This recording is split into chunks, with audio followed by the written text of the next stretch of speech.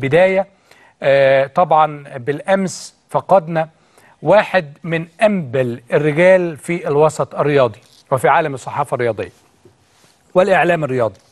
الأخ العزيز الحبيب والصديق الغالي رحمة الله عليه الأستاذ محمد صيام.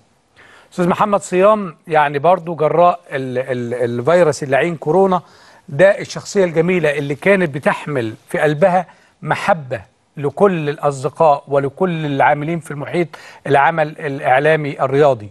أستاذ محمد صيام اللي ما يعرفوش الابتسامة اللي على وجهه الطيبة القلب الإخلاص ال- المحبة ال ال ال كل شيء جميل وكل صفة جميلة تلاقيها كانت في الأستاذ الناقد الرياضي الكبير الأستاذ محمد صيام نائب رئيس تحرير الأهرام المسائي ورئيس طبعا تحرير آه، برنامج مساء الأنوار مع الكابتن مدحت شلبي.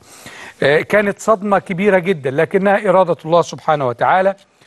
آه، لله ما أعطى والله ما أخذ وكل شيء عنده بمقدار وبكل تأكيد آه، يفنى كل ما في الكون ويبقى الله سبحانه وتعالى.